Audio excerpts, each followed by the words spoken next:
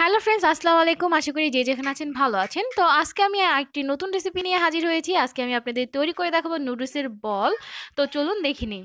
এখানে আমি একটা নুডলস সিদ্ধ করে নিয়েছি লবণ দিয়ে আর একটা মাঝের সাইজের আলু ভালোভাবে সিদ্ধ করে নিয়েছি। এখন এগুলো ভালোভাবে হাতে চটকে নিচ্ছি আর স্বাদ অনুযায়ী লবণ দিয়ে দিচ্ছি। তো খুব ভালোভাবে মেখে নিতে হবে। এখন এর মধ্যে আমি দুই, তিন টেবিল চামচ পরিমাণ কর্নফ্লাওয়ার দিয়ে ভালোভাবে মাখিয়ে নিচ্ছি। তো এরপর চিলি ফ্লেক্স দিয়ে দিচ্ছি। আপনাদের ঝাল অনুযায়ী আপনারা দিবেন। তো এরপর যে নুডলসের মশলাটা ছিল সেটা এখানে দিয়ে ভালোভাবে মাখিয়ে নিচ্ছি।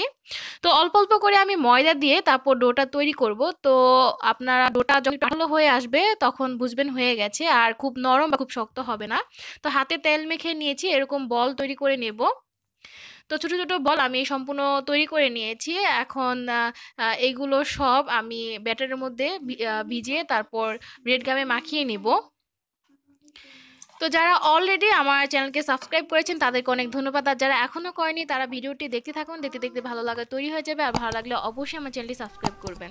আর আমি যে ব্যাটারটি তৈরি করেছি, সেই ব্যাটারটি আমি কর্নফ্লাওয়ার দিয়ে বানিয়ে নিয়েছি। দুই থেকে তিন টেবিল চামচ পরিমাণ কর্নফ্লাওয়ার নিয়েছি। আর সেই কর্নফ্লাওয়ার দিয়েই আমি ব্যাটারটি তৈরি করে নিয়েছি।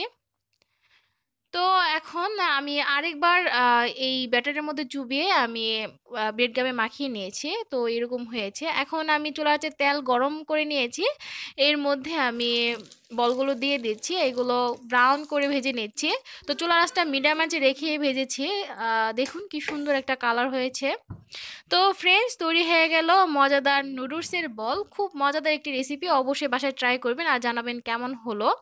তো আজকের ভিডিওটি যদি আপনাদের কাছে ভালো লাগে, তাহলে অবশ্যই আমার চ্যানেলটি সাবস্ক্রাইব করবেন, একটি লাইক কমেন্ট শেয়ার করবেন। আজ এখানেই বিদায় নিচ্ছি। সকালে সুস্থতা কামনা করে খুদা হাফেজ।